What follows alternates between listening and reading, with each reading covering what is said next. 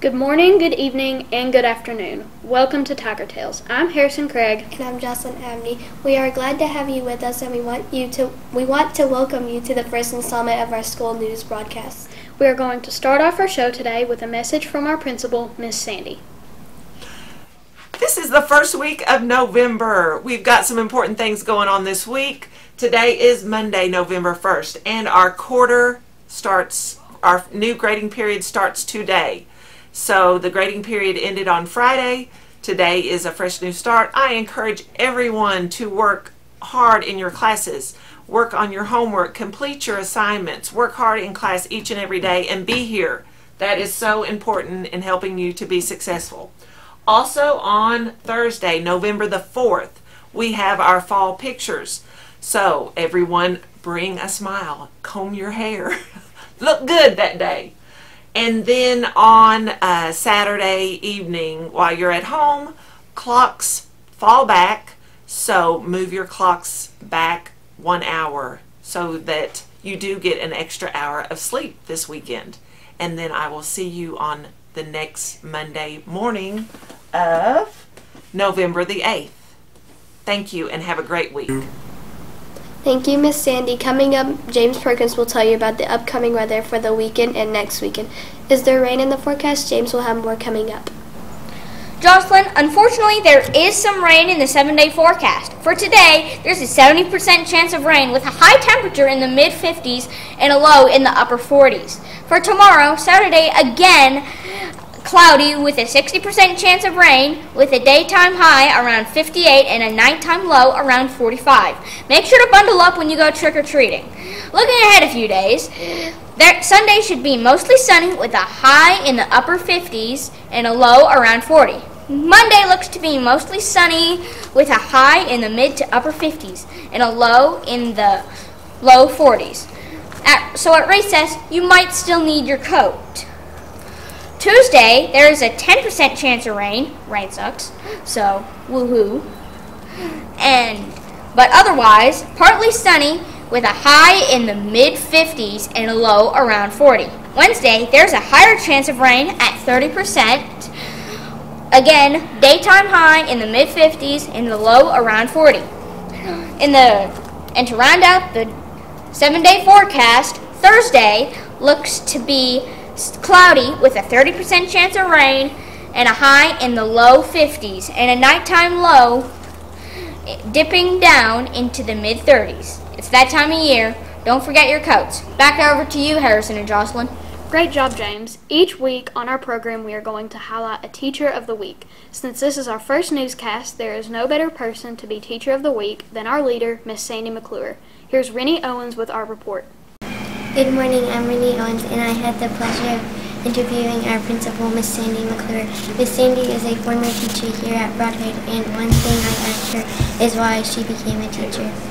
Um, one, Rockcastle County Home is home to me, and I have a love for children and a genuine love and interest for the children of my home, which is, again, like I said, Rockcastle County. I was very fortunate to have a family that encouraged me and supported me throughout my public education and into my higher education. So my parents had always expected me to work hard and give my best effort each and every day of school. I learned from an early age that just like my parents, my teachers expected the same. So public educators that I had cared about me when I was growing up and had a love for me, and they wanted to see me be successful. So um, this is a reflection of what I like to see in educators and how I discovered that I knew I was also interested in being in education. Miss Sandy was such a good interview. After seeing how much she loved teaching, I asked her if you wasn't teaching, what other job do you think you would be doing? But, um, when I was thinking about careers, I had thought about health or education because I felt like if I worked in healthcare, there's always going to be people sick and that might be a career to go into. Or if I worked in education, there would be um, always children to, to learn. And so um, I guess health, some kind of health field I would have chosen. The health field is something I can definitely see Miss Sandy working in. After some hard questions, I asked Miss Sandy some easy questions.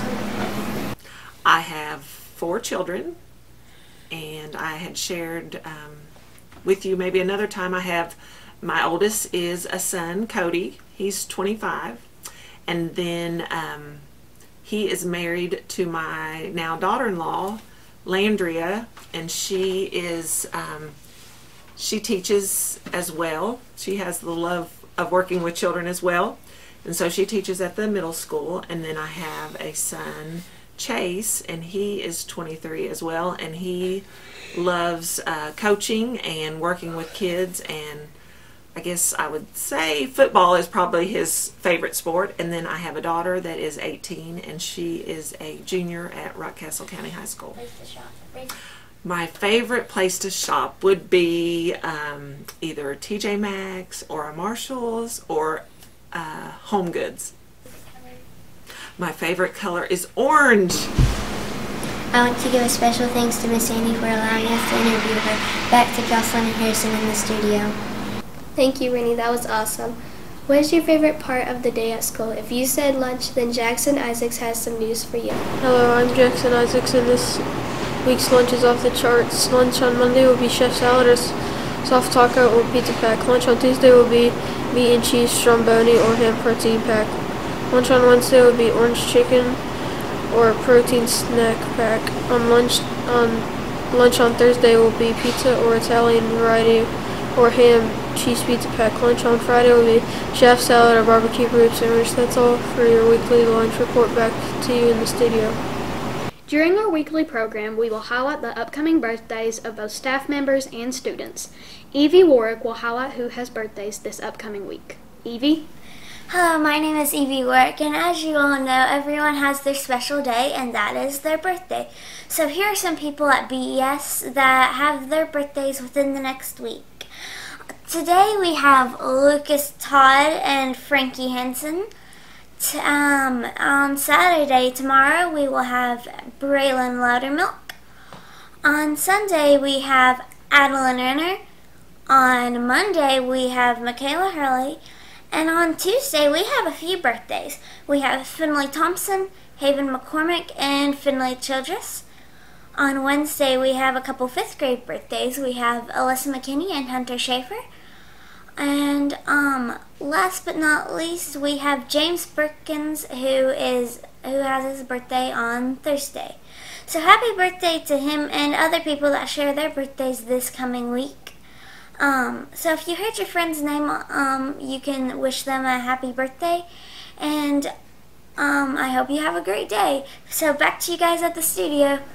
Happy birthday to all indeed. Last Friday, some of our classmates loaded up and headed to some pumpkin patches. Kim Childress got us some inside scoop on where and what went on during those trips.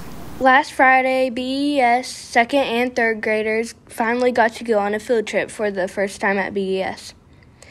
The second grade got to go to the Christian church camp that includes a makeshift uh, pumpkin patch, while the third graders went to Divine's pumpkin patch. Pumpkins wasn't the only reason this field trip ended up being fun. Well, we actually did more than just play on the playground that they had. We did some finger painting. Um, we decorated sugar cookies and we went on a nature hike as well as played on the fantastic playground and go to the pumpkin patch. There to do Okay. So the first thing we did was we rode the uh, hay ride to go pick our pumpkin to bring back with us to school. And then after that, we played on the playground area. They had a slide. They had a, corn, a little corn maze made out of hay, and they had some swings. After that, we went down and jumped on the bouncing pillows and got to see animals. There was a lot of things to do. They had a concession stand, different things like that. After over a year without any field trips, teachers and students say that just felt good to get out of the classroom for a bit. It felt amazing to finally get out and have some fun with the kids and go somewhere besides the school. Well, it was just really awesome to be able to take our kids outside of the school and let them have uh, what seemed like a normal day. I even asked Miss Deanna's second grader Trip nicely what his favorite part of the field trip was. My favorite thing was to hang out with my friends. That was a look at how BES tackled the pumpkin patch. Back to you, Jocelyn and Harrison. Thank you, Kim. No newscast is complete without having something to do with sports. We will be covering both BS sports as well as Rockcastle sports and even some Kentucky sports. Our very own Rayleigh Hancock will have an action packed preview of the week ahead. Hello and welcome to our first ever Tigers Den. I'm Rayleigh Hancock and today we will be doing some previewing and reviewing of sports around us. After a heartbreaking 13 to 14 defeat against Garrard County on Friday night, the RCHS Rockets football team looked to bounce back on senior night against rival Lincoln County tonight. The game will be played at the Rock with game time slated for 7:30. The RCMS football team advanced to quarterfinals of the state tournament Saturday with a dominant win over Shelby East 38 to 0. The Rockets will play Shelby West on Saturday with game time at 2:30. The game will be at East Jessamine High School. Tuesday night, the Lady Rockets volleyball team hosted the Wayne County Lady Cardinals in some region quarterfinal action. Unfortunately, the Lady Rockets got swept three games to zero, ending their season. 12th ranked Kentucky football is coming off a bye week and will take on 4 and 3 Mississippi State Bulldogs in Starkville, Mississippi Saturday at 7 p.m. on the SEC network. The football Cats are looking to improve on their 6 and 1 record. Moving on to some UK basketball news, John Calipari and his 10th ranked Wildcats will have their first exhibition tonight against Kentucky Wesleyan College at 7:30 in Rupp Arena. The game will be on the SEC network. I'm Rayleigh Hancock. That's all for this week in sports. Have a great day. Thank you, Rayleigh. Well, Harrison, looks like we're coming to an end of our first show. Yes, Jocelyn, and what a show it was. Hopefully you at home liked it and will join us next week on another edition of Tiger Tales. Have a great weekend. Go Tigers!